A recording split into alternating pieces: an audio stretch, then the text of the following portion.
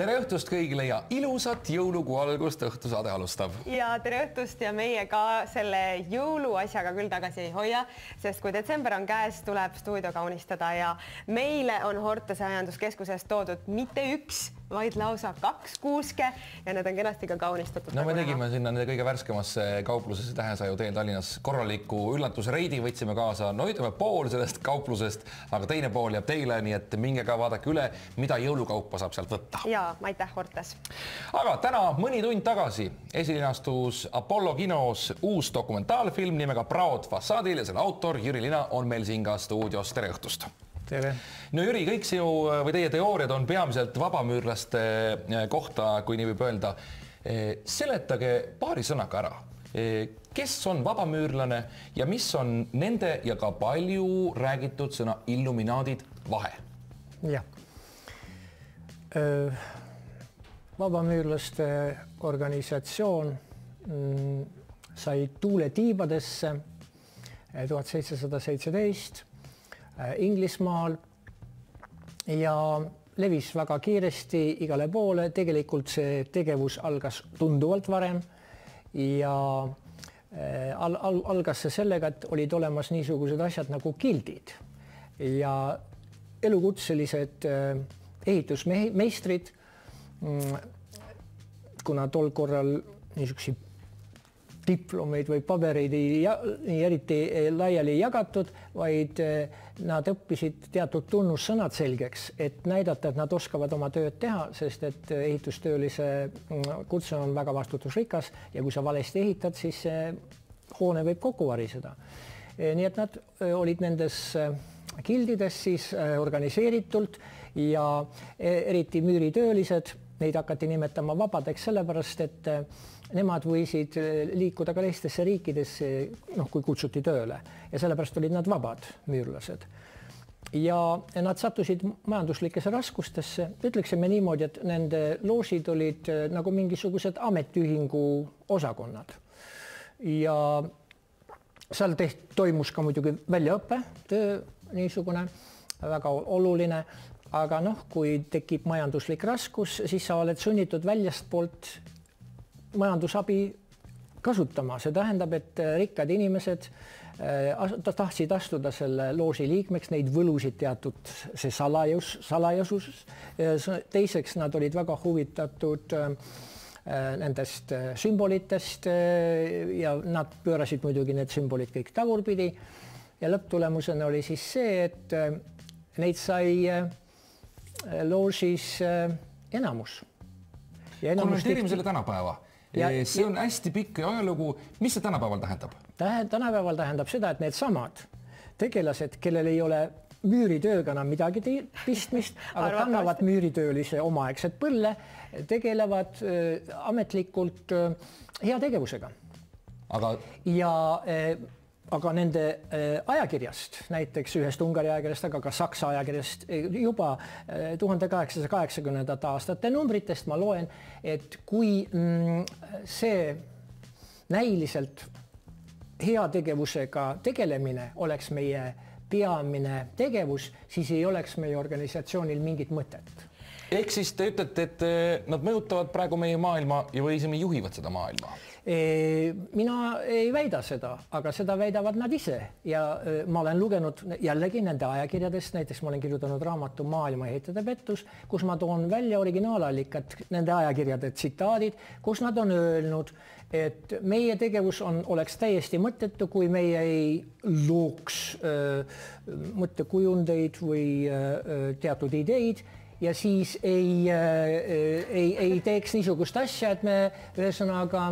meil on otse. no teil telefon heliseb praegu, kas ma, kas ma saan õigesti aru, et keegi on nüüd teie peale pahane? keegi on pahane juba. et, et te olete televisiooni tulnud sellest rääkima ei, seda ei ole, aga ühesõnaga siis äh, niisuguses ajakirjas oli igal juhul kirjas, et sellel tegevusel ei oleks mingisugust mõtet, kui me ei suudaks avalikku arvamust suunata. ja kuna nad ise ütlevad, et nad suunavad avalikku arvamust, siis ma pean seda uskuma kui palju Eestis neid vabamüürlasi seesuguseid on? eeldatavasti umbes viissada viiskümmend. umbes viissada viiskümmend. kes on, kas te tohite välja öelda siis sellised kõige-kõigemad vabamüürlased Eestis, kes siis meil suunavad ja nii-öelda mm. niite sikutavad? nii huvitav, kui see ka ei ole. muidugi nad ei taha, et seda ajakirja Vendlus keegi näeks väljaspool nende loože uh. -huh mind ei suuda mingi takistus pidurdada ja mina olen mitte ainult seda näinud, vaid ma olen lugenud. ja nii hämmastav, kui see ka ei ole, see langeb praktiliselt ühte sellega, mida äh, lääneski võin äh, lugeda, näiteks Rootsis ma võin osta vabamüülist ajakirja täiesti vabalt, lähen nende looži, ostan, sada Rootsi krooni maksab Aha. või siis nende äh, tegelaste nimekirja äh,.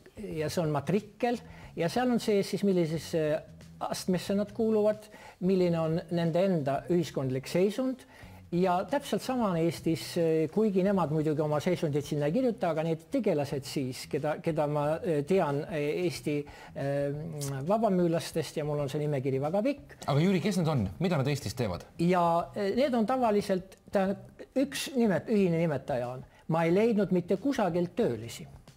töölisi ei ole, vaid seal on ühesõnaga ühiskonna koorekiht nii, aga on... räägime nimedest, räägime nimedest, me kõik tahavad teada praegu, kes on need Eestis need vabamüürised, kes siis niite tõmbavad. võtame Või... näiteks niisuguse nime nagu Agu Uudelep.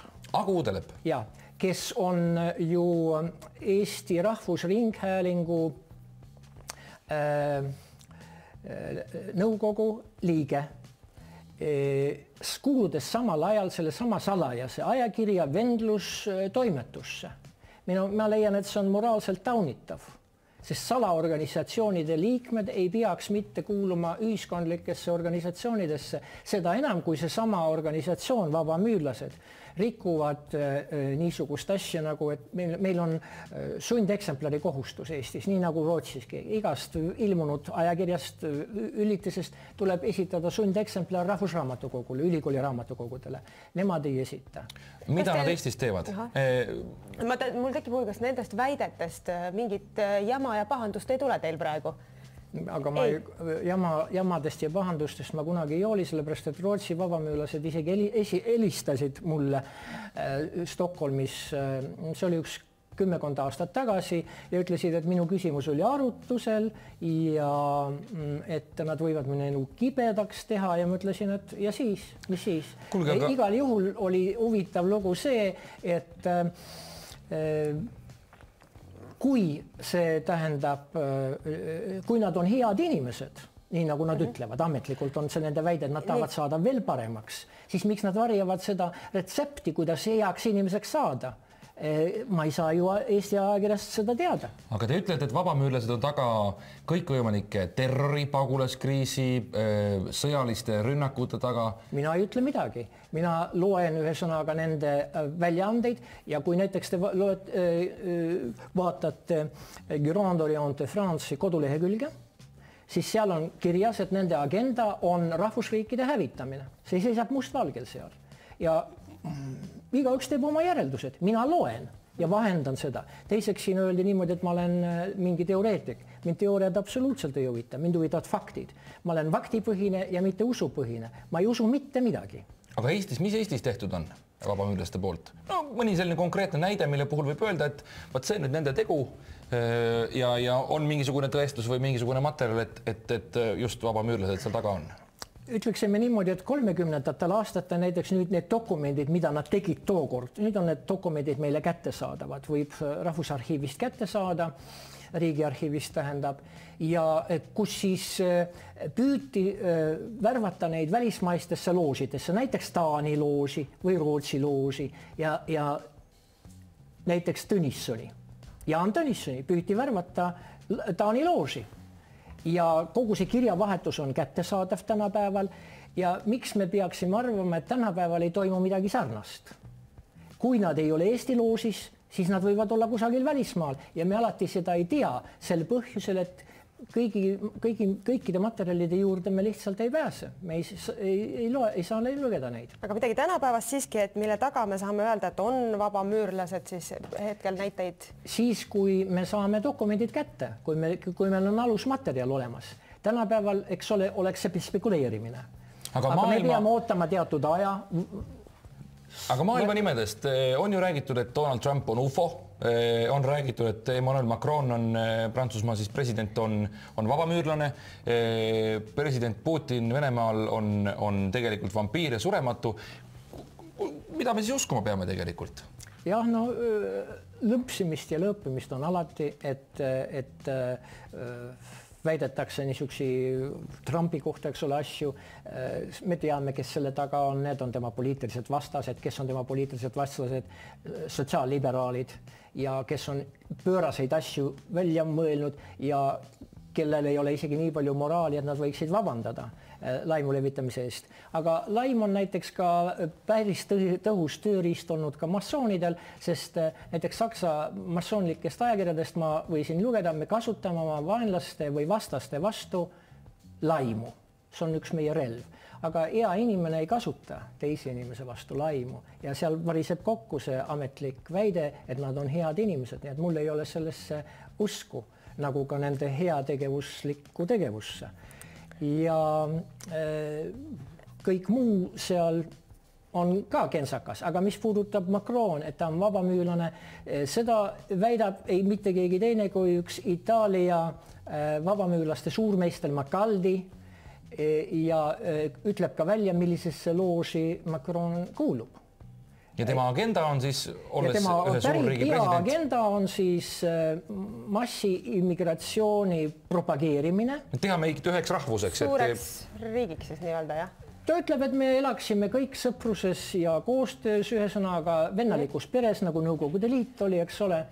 aga samas ma olen lugenud vabamüürlaste endi hinnanguid selle kohta, kui äh, suruda rahvad omavahel kokku ja, ja niisugune huvitav äh, tekst tuli välja, et kui niisugune asi juhtub, siis algavad lõpmatud konfliktid ja nii huvitav, kui see ka ei ole Rootsis püütakse teha ju ja on kogu aeg nüüd viimase kümne aasta jooksul tehtud seda, et tekitada niisugust vennalikku peret ja multikultuursust.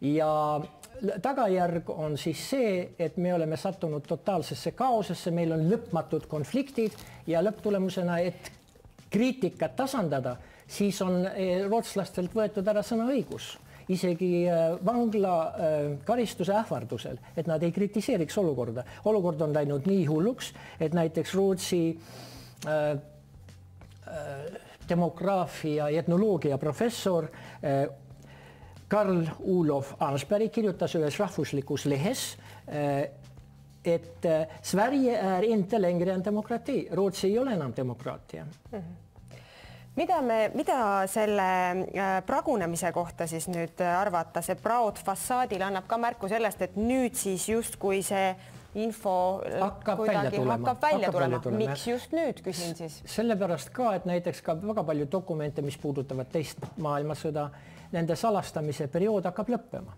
Ja just praegu nendel aastatel, näiteks kaks tuhat seitseteist, kaks tuhat kaheksateist, kaks tuhat üheksateist järjest uusi materjale tuleb kätte, mida me saame lugeda muidugi nemad teavad, et tavainimene ei loe seda ja nad ei ole ka huvitatud ja, ja tavainimene ei lähe ka näiteks Prantsusmaal Grand Orient de France'i äh,, France'i looži äh, nende muuseumisse seal tuhnima või vaatama, nende ajakirja nii, ostma. mina lähen nii. ja, ja nende ajakirjast Humanism ma loen. meie oleme revolutsioonid korraldanud tavainimene vaatab praegu kodus, kuulab seda juttu ka, võib-olla kuuleb päris esimest korda vabamüürlastest ja mõtleb, et mida ma selle infoga nüüd peale hakkan.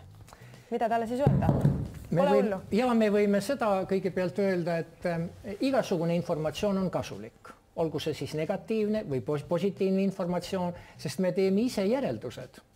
ja näiteks kui ma kirjutasin viimase äh, raamatu, mis käsit- äh,, mis puudutab muusikat, siis, siis, siis ka ma siin ei saa sellest asjast mööda, sellepärast et ma näen väga hästi, kuidas toimub muusikaelu juhtimine ja see toimub negatiivses suunas. muusika ka jah? muusikaga ka, näiteks Rootsis äh, barokkmuusikud kurdavad, et neid tõrjutakse eemale äh, ilus, kaunis muusika tõrjutakse tahapla-, tagaplaanile ja samas, eks ole, toimub massiline räpi peale surumine ja ma ütlen ausalt, et ma jään lausa haigeks, kui ma, kui mind sunnitakse. et see räpi peale surumine, et see on ka kuidagi seotud siis. aga kes sama... finantseerivad, alati me peame järgima raha seal, kus on, võtame näiteks kasvõi Lev Trotski.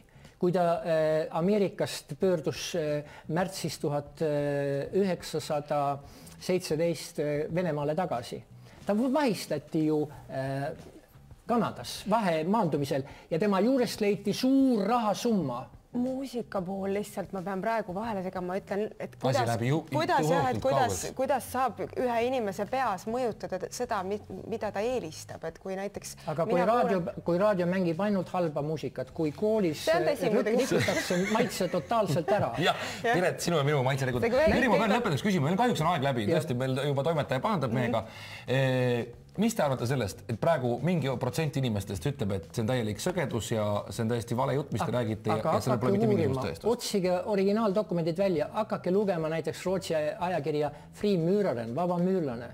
Eh, minge Inglismaale, Freemasonry Today inglise keelt oskavad väga paljud inimesed. osta, ostke eh, vabamüürlaste peakorterist Londonist, lugege ja teil jäävad, jääb suu jahmatusest lahti. minge see... Prantsusmaale, lugege seal ajakirja Humanism. aga enne lugemist vist tegelikult võib minna kinno ja vaadata ära Proud Fassaadil filmi, sellepärast et see annab ka aimu ja, Mingit, ja, ja infot. pragudest midagi, äh, midagi sealt virvendab. ütleme lõpetuseks ära, et meid ei, ei veendunud ega käskinud mitte keegi teid külla kutsuda äh, ja vastupidi ka ei keelanud keelanud ka. mine tea aga võib-olla see on alateadvus ja, ja ka ei keelanud keegi külla kutsuda, nii et kui selle keegi helistas, keegi paha inimene, siis meil tõesti ei ole ühtegi paha äh, kavatsust olnud. filmi äh, erilinastused on siis neljandal detsembril Tartus ja seitsmendal detsembril Viljandis, kellel on huvi, siis minge vaatama. aitäh tulemast.